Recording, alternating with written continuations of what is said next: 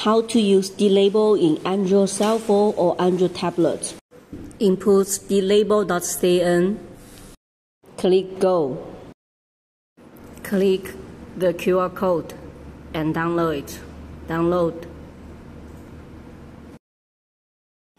Allow.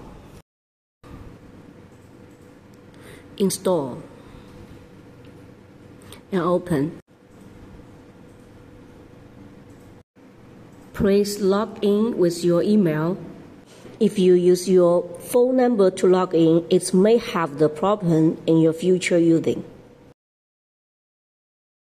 Please click Verification Code Login.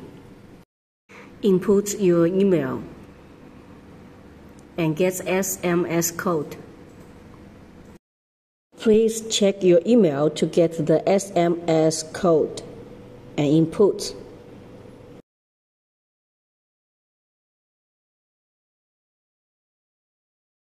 Now create label to start printing.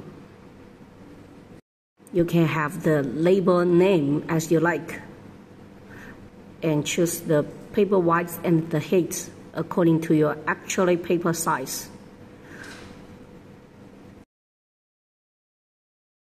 Click text and save.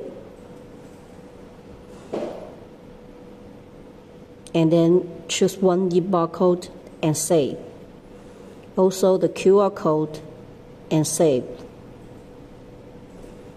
Also you can choose some image and save them also.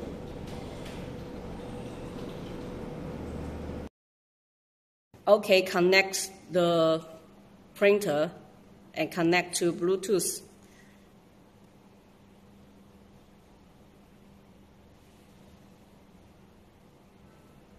And the pin word is 0000.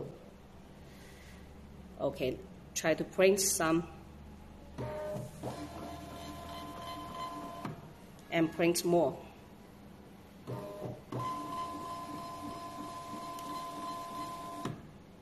Thanks for your watching. Have a nice day.